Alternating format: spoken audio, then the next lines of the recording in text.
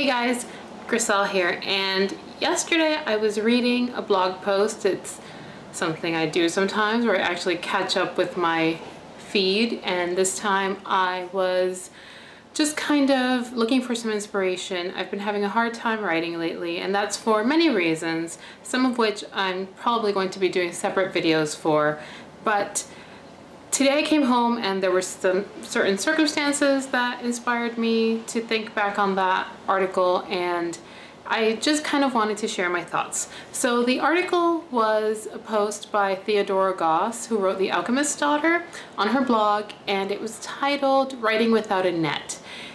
I'll post the link below or above or somewhere for you to access this. But it was a very good article and I felt it was a very important subject and something that isn't discussed all that often.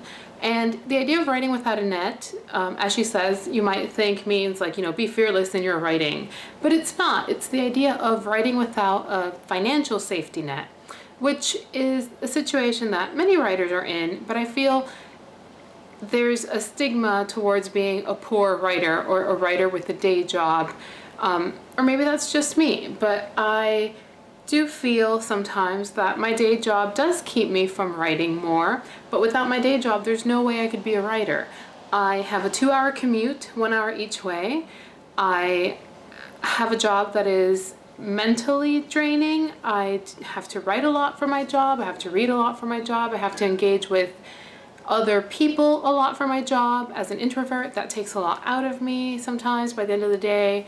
The last thing I want to do is think about anything creative. I just want to veg out or sometimes like go for a run or a walk or something that takes me completely out of my headspace and into another environment because I just can't do it anymore. But without that job, there's no way I could be a writer. I live alone. I pay my own rent. I pay my own bills. I, I feed myself. I clothe myself, I have a car, I pay for gas, I have two cats. Those are expensive. Pets are responsibility, so I feed them well too. I don't skimp out on their health care. There's a lot of stuff that goes into just being a person and being someone who takes care of themselves. I pay for um, you know, doctor's visits, medication, as I've talked about my thyroid before, you know, it's not the most expensive health condition to deal with, but it is another expense that I have to plan for and think about. And there's no one there to really save me if I can't do these things. So I have to set aside money. I'm very thrifty, I will say. I, I grew up poor.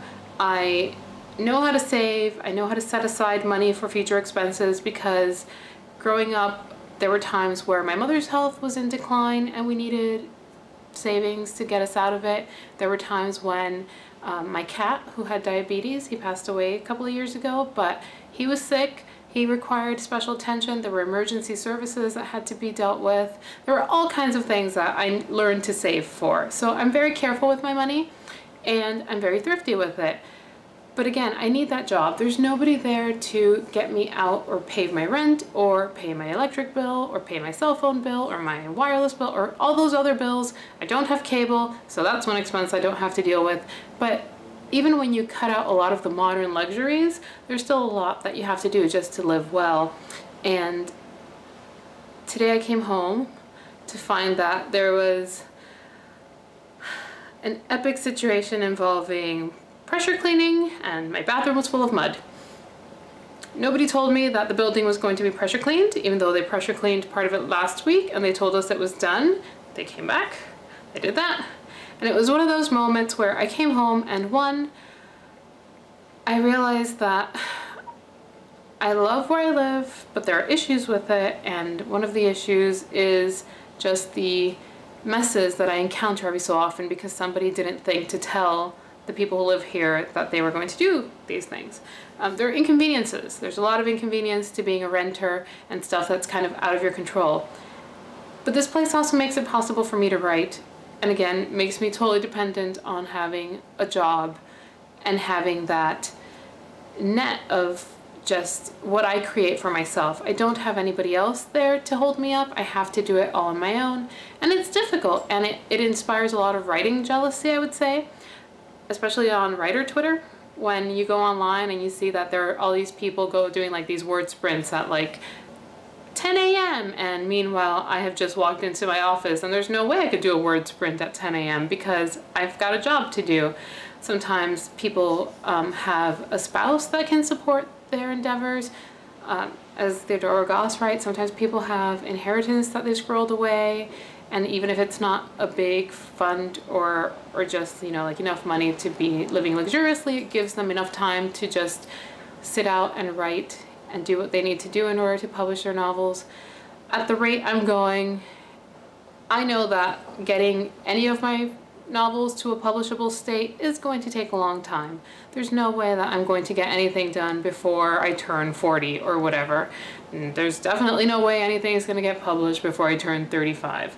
So that, you know, it inspires that little bit of envy when you see in the writer circles that there are other writers who have that support system and who are shelling out books at a rapid pace. And you just think, if I had that, maybe I too could be that successful. And, and it's just difficult. There's no real answer to it. I'm just kind of like throwing ideas out there and just wanted to share my feelings.